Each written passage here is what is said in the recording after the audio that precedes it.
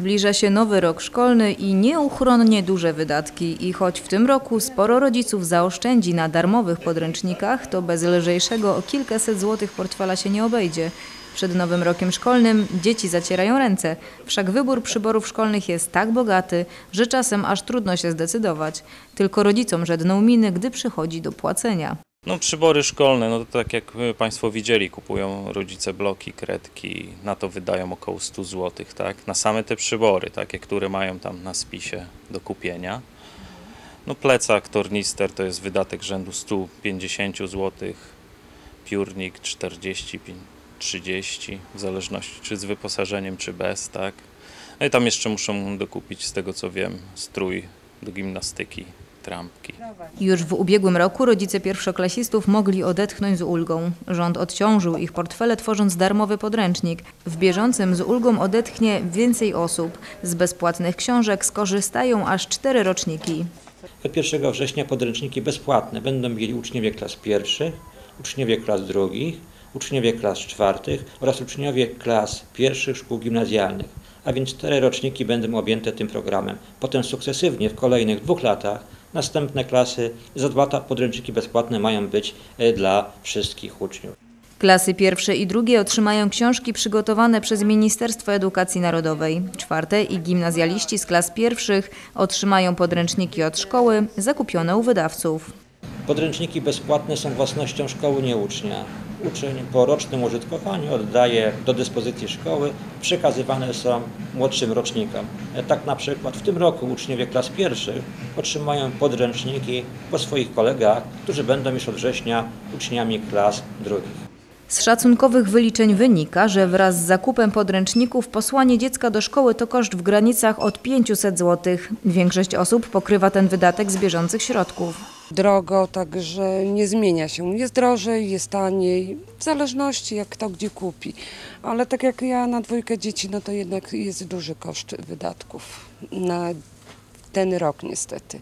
Plus opłaty szkolne także wynosi to niemałą sumkę.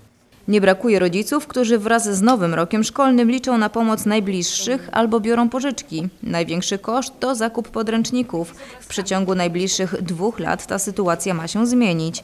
Darmowe książki będą dla wszystkich klas szkół podstawowych i gimnazjalnych.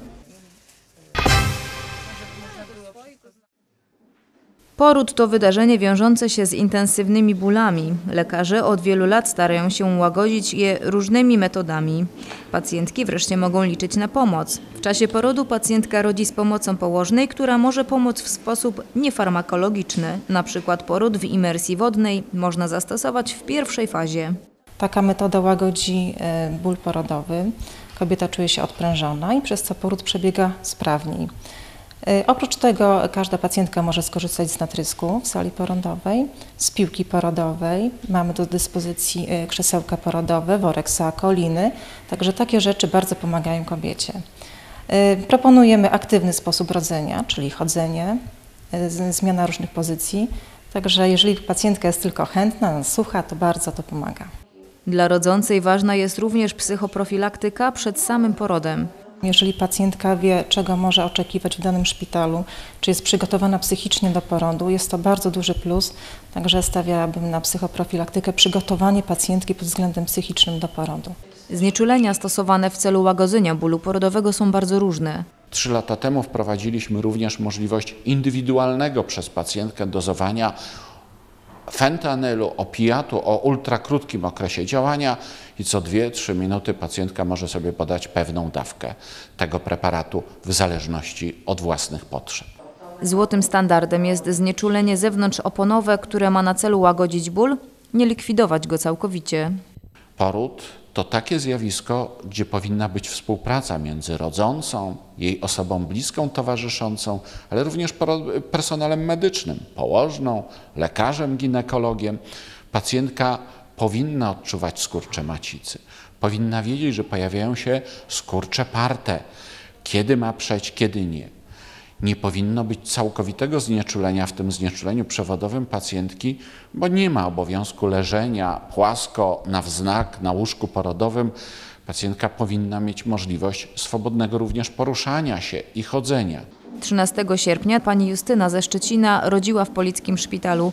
Towarzyszył jej mąż Przemek. Pacjentka mogła skorzystać ze znieczulenia zewnątrzoponowego.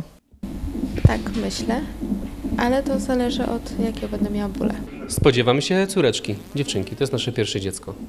Od 1 lipca w koszyku świadczeń medycznych gwarantowanych przez NFZ znajdują się bezpłatne znieczulenia zewnątrzoponowe, które powinny być dostępne w szpitalach, a z tym jest różnie z powodu oporu anestezjologów czy wskazań medycznych u poszczególnych pacjentek.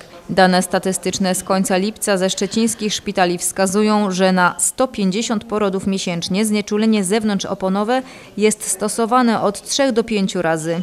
W polickim szpitalu pacjentki mają różne podejście do znieczuleń. Część kobiet z góry nastawionych jest na poród naturalny. Poród naturalny to bez żadnych dodatkowych form działania medycznego, farmakologicznego, w tym również środków łagodzących dolegliwe doznania ich bólowe.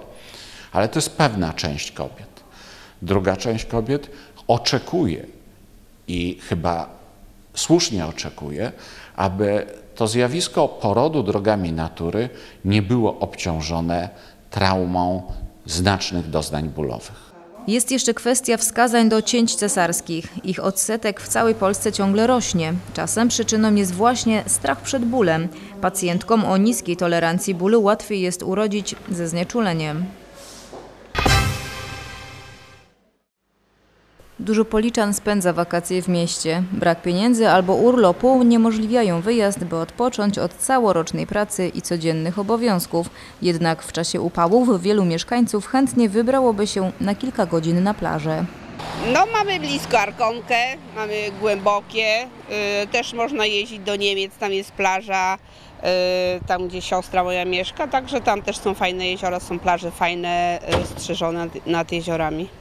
Można skorzystać z tych propozycji, ale do wymienionych miejsc trzeba dojechać. Polickie dzieci chętnie korzystają z fontan na placu Zamenhofa i placu Chrobrego. Mają wielką frajdę, ale Sanepid już rok temu takich zabaw nie pochwalał, mimo że Transnet zapewniał o czystości wody. Wiele osób przychodzi na policką mijankę. Tu jest jakaś czystsza woda niż w Przebieży, niż nie wiem, na Głębokim. Tu jest o wiele, wiele lepiej. W tę czystość wody nie należy wierzyć. W pobliżu pływają statki, woda nie może być więc czysta. Dno każdego dnia pracuje, raz może być tu płytko, raz głęboko. Mimo, że nie jest to plaża, to często znajduje się tutaj ratownik WOPR-u. Część plażowiczów Mijanki myśli o powstaniu w Policach kąpieliska z prawdziwego zdarzenia. Bliżej, bliżej, tak, oczywiście by, by się przydało, e, tym bardziej, że bardzo dużo ludzi przychodzi tutaj z dziećmi, tak, i no fajnie by było, gdyby coś takiego powstało. Mieszkańcy myślą o plaży czy miejskim kąpielisku i nawet wiedzą, gdzie takie miejsce mogłoby powstać. Jak chodzę deptakiem, nawet tam jak przejeżdża te wesołe miasteczko, tam jest ładny teren. Można było zrobić coś takiego. Nawet dokładnie to wczoraj o tym myślałem, tak jak przychodziłem. Teren, o którym mieszkaniec nam powiedział, należy do spółdzielni mieszkaniowej Odra. Gdyby tu powstało kąpielisko, to niemal pod samymi oknami pobliskich bloków mogłoby to rodzić konflikty. Kilka lat temu ówczesna dyrektorka zespołu szkół w Policach Beata Chmielewska wpadła na pomysł rozbudowy pływalni. Mógłby powstać otwarty basen i zjeżdżalnia. Dla dzieci i dorosłych byłaby to wielka atrakcja. Bardzo fajnie. Była nawet za tym. Słyszałam właśnie o tym, no ale... Nie, tutaj w Policach naprawdę by się przydało coś takiego. Bynajmniej mówię dla dzieci, nie? Tylko kwestia pieniędzy. Więc no, niestety.